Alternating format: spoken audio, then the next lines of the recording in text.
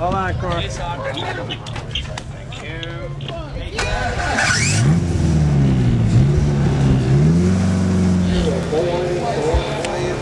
Happy boy.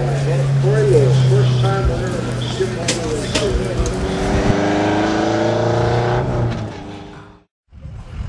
Very own first time driving a bike. In a wetsuit. So, Nice lead. I got plenty of them. Nice solid. One of them on Beautiful. eBay. are you going to drive this car? Long time. Beautiful. Yeah, you get some paper This towels. winning car. There you go. They got its one win of the day. Nice. It's like you're all set for the interview. They paid away. So. Chris, you're in this car, huh? I are. That's a good thing. How'd that feel, huh? Following back markings got around them.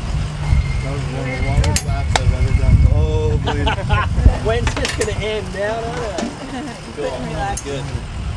Good job. Podium, How long have you been P1. driving with Skippy? So in my second month, first race, This is your first race. first race. Congratulations. Thanks, man.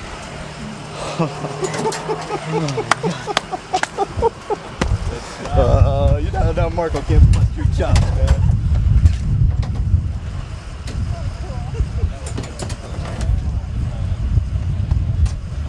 Thank you. That's such a keeper.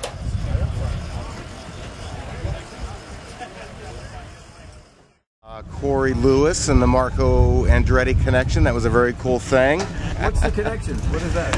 Oh, actually, the Corey Lewis, he and his dad are friends with the Andrettis in Nazareth, and it was Marco and Michael who told Corey, "You got to do Skip Barber. Go do regional, then go do national." He's on the plan. He's on the plan. Huh? And what just happened? First win.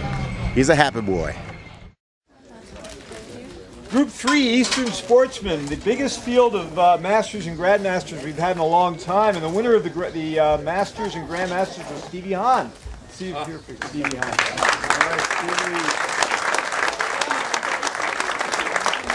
We also had a, uh, a huge group of new guys, um, a lot of good new guys, a lot of guys with a lot of promise, and in P3 is Nick Brady.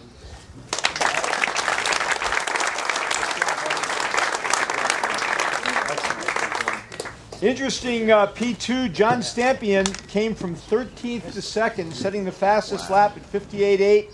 Uh, John Stampion.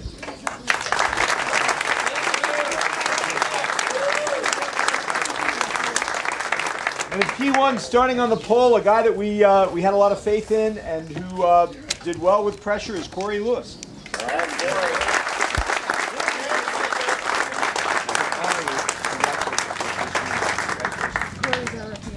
He is also our rookie of the, wa- the weekend, or the race. the weekend? Good job.